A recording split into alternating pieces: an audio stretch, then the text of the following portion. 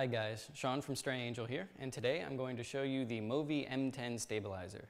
Now, what the stabilizer does is it stabilizes the camera in its tilt, its yaw, and its roll axes. And you can use it in a single operator or a dual operator mode.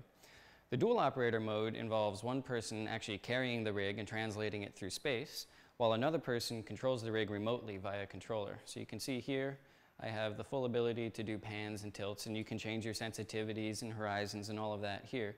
And we have a, a wireless IDX video system here to transmit the video up to about 200 feet.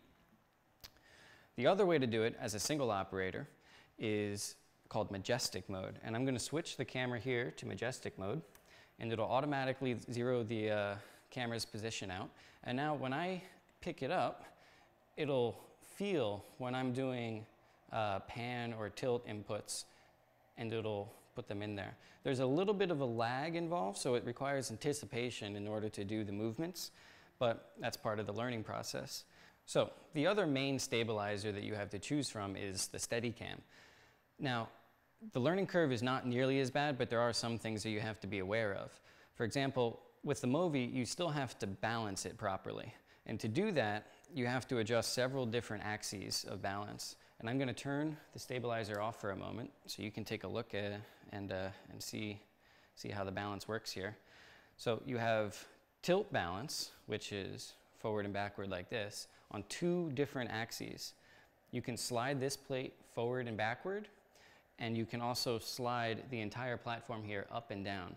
And basically the idea is with your fore and aft adjustment, you want to get it so that the camera sits still when you let go of it at neutral orientation. So you have two basic adjustments for tilt stabilization. You have fore and aft, which you use to set the camera so that when it's sitting at zero orientation, it just stays pretty much right there. The problem that you run into if you only do that is that when you're tilting the camera up, or if you're tilting the camera down, it might go out of balance because the weight is shifting in relation to the axis. That's what you use this vertical platform here, or this horizontal platform I should say here. You move it up and down so that when you're pointing up, you're still relatively in balance. Then when you tilt down, you want it to stay relatively in balance.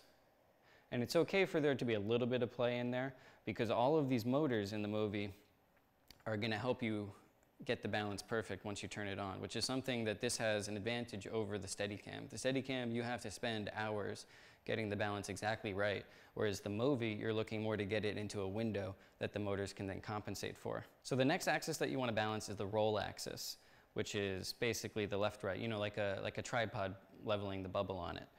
Um, you can, again, use two different controls to get this roll correct. You can actually slide this platform here, left and right, or you could slide the entire arm here on the back of the camera, left and right. So as you can imagine, this is for major adjustments for, say, using different camera systems or a different accessory setup, while up here on the front is the more minute adjustment where you work everything in just right. Okay, so the next axis that we have to balance is the pan axis. And you check it in two different places. The first place you check is in line with the handle arm. And all you got to do is just rotate the arm gently and see if it drifts in any direction. If it stays in line with the arm, it's properly balanced. The second place you check is in line with the handle.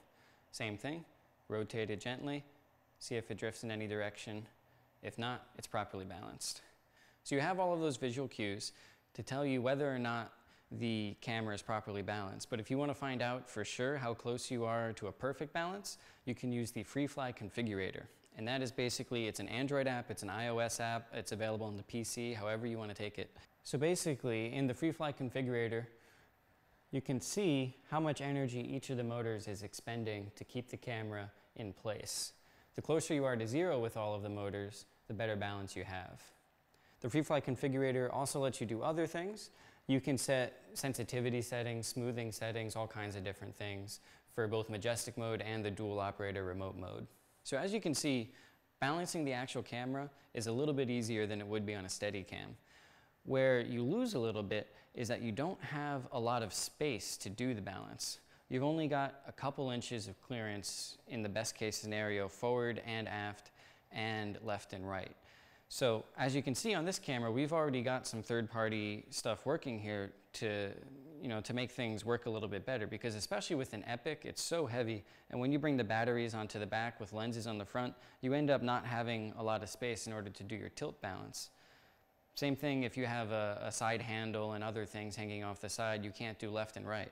So what we've got here is a plate that attaches to the side of the red camera and allows you to put a full V-Lock battery onto the camera without uh, restricting your forward and aft balancing capabilities.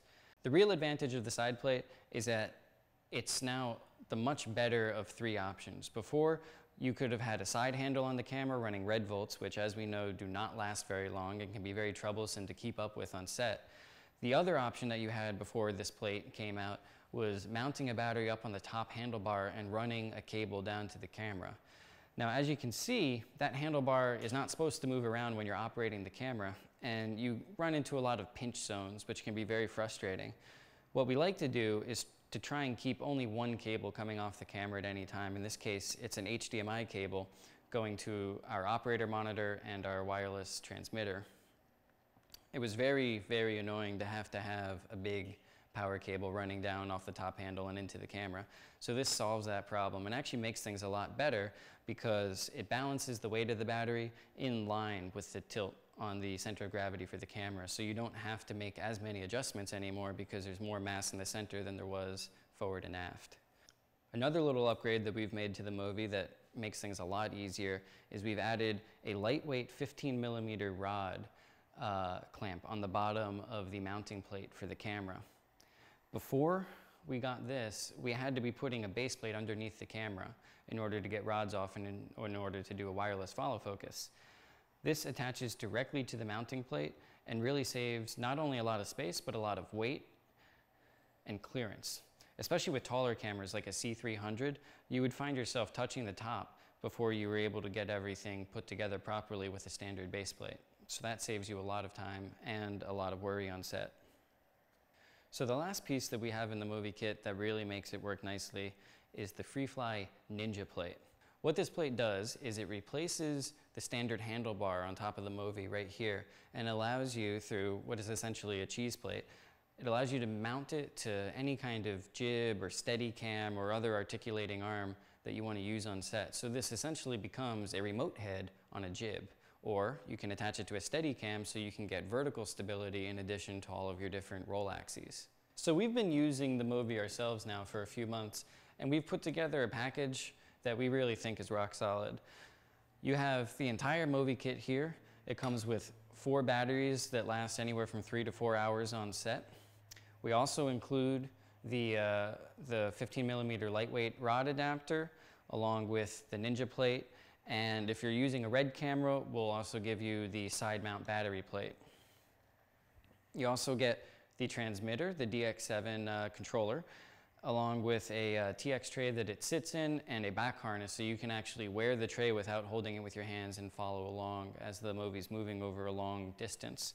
Uh, with that, you get a, uh, two of these monitors, one for the operator, one for follow focus or director or what have you and they're all linked through the IDX wireless video system, which in our opinion and our experience is the least problematic and easiest to use wireless video available right now. All of our monitors run off of LP6 batteries, the Canon brand. We can supply other batteries and adapters if it's necessary, but we also give you plenty of batteries to work with. You also get an Android tablet that has the FreeFly configurator on it and it's pre-linked to the Movi, so you can basically plug and play and immediately adjust your settings and do whatever you need to do with that.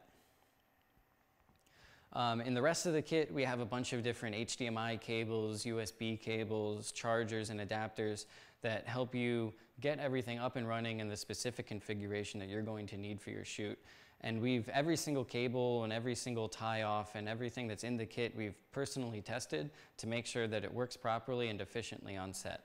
So if you're interested in using our Movi kit, we rent it locally and we ship it nationally. So no matter where you are or what your project entails, we're here to help you. Thank you for taking the time to watch this Movi video. If you have any questions, feel free to leave a comment or call us or even come into the store if you want to play with the equipment. We love setting it up and we'd be happy to do that for you if you want to get a feel for the Movi stabilizer. I'm Sean from Stray Angel and thanks for watching.